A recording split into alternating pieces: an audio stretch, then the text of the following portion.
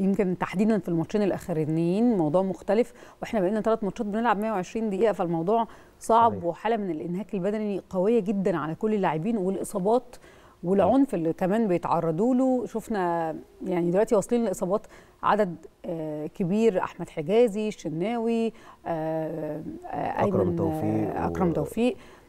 بنتكلم عن عدد من الإصابات مش قليل. هنتعامل إزاي مع ده قدام السنغال؟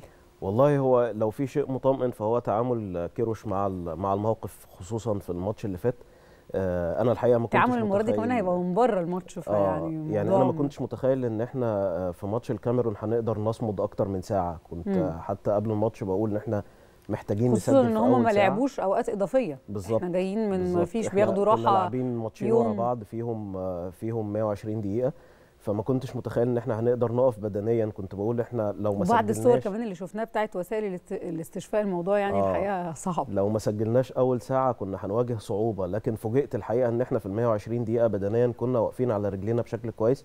تغييراته هو كانت ممتازة حتى في الوجوه الجديدة اللي دفع بيها فقدر يحافظ على آه، يعني نزل fresh legs فاللعيبة كانت فايقة جدا في في الملعب لحد آخر وقت إحنا قادرين نقف على رجلينا بدنيا. يمكن منتخب الكاميرون في في الأشواط الإضافية ظهر عليه التعب أكتر مننا ودي حاجة كانت مطمئنة. ما أعرفش ده هي- هيقدروا يستمروا بيه في المباراة الجاية ولا لأ لكن في اللي إحنا شفناه آه، في حاجات كتير تدعو إن إحنا نكون شوية. مطمنين طيب.